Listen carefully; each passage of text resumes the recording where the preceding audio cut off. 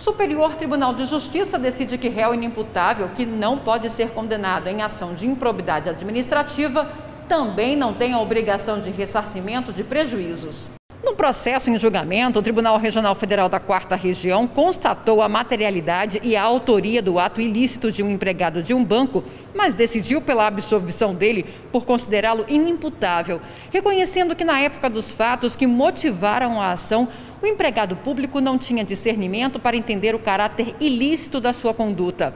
O laudo pericial apontou o quadro de transtornos mentais e de comportamento decorrentes do uso de álcool, concluindo pelo diagnóstico de doença psicótica. Atualmente, o homem é interditado por incapacidade civil.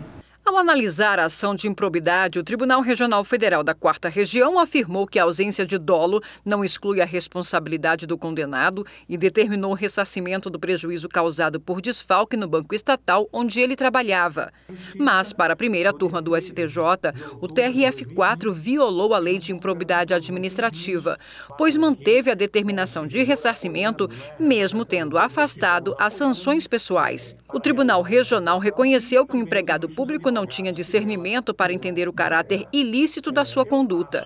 Segundo o relator do recurso, ministro Gurgel de Faria, a conduta dolosa é indispensável à configuração dos atos de improbidade. Desta forma, o colegiado reformou a decisão do TRF4.